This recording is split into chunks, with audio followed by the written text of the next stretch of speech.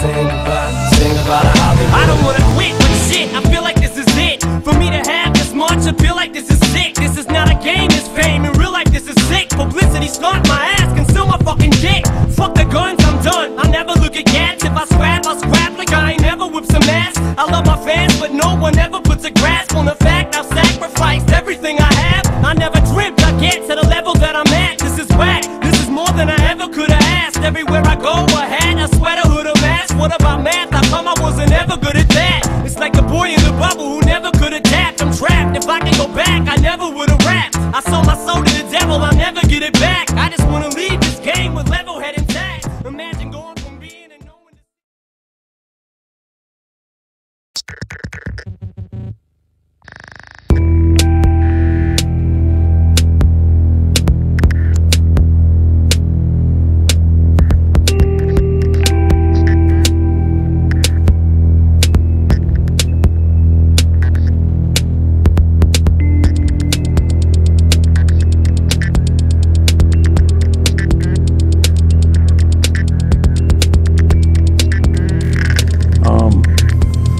know, like a mumbling effect. In Rain Man, he was always mumbling all these numbers, rattling off these amazing numbers. And he was like, a, I guess, an idiot savant in the uh, in the movie uh, Dustin Hoffman.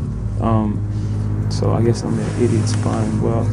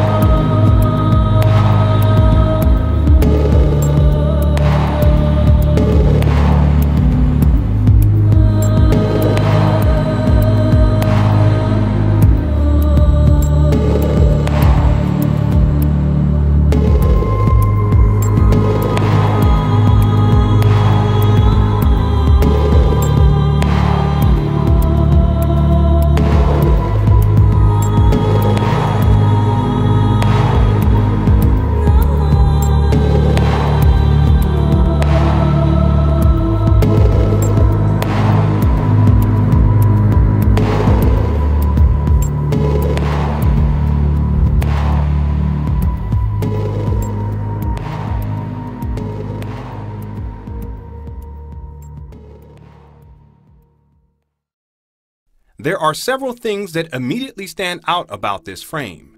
Something is not quite right here. It is probable that you have already sensed that something strange is going on in this frame. Let us take a closer look. First of all, it appears as if Rihanna is bent over, her head bowed low, her face against the floor. Her legs are parted, her arms upstretched, angled behind her. This frame is dualistic in nature. It tells two stories simultaneously. Look closely at Rihanna's hair. There are only a few strands leaning down towards the ground. How is this possible? If her head is fully bowed, then shouldn't all of her hair be leaning down towards the ground? Shouldn't the hair on the back of her head fold over towards the ground as well? Wouldn't gravity make this so? Secondly, there are anatomical impossibilities present in this frame. The distance between Rihanna's bowed head and shoulders is anatomically disproportionate. Given the relative position of her trapezius muscles and pectoralis major muscles, Rihanna's neck would have to be about 11 inches long in order for her head to reach that low. From this position, her neck would also have to be stretched downward at an anatomically impossible angle. But this is not all.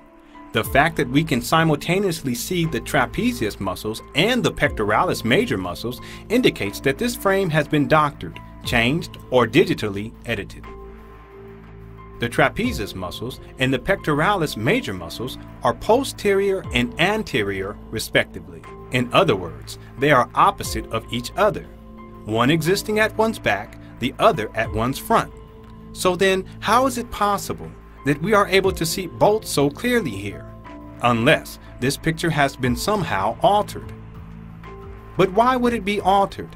What purpose would it serve to alter this picture in such a way? Let's look closely at this area.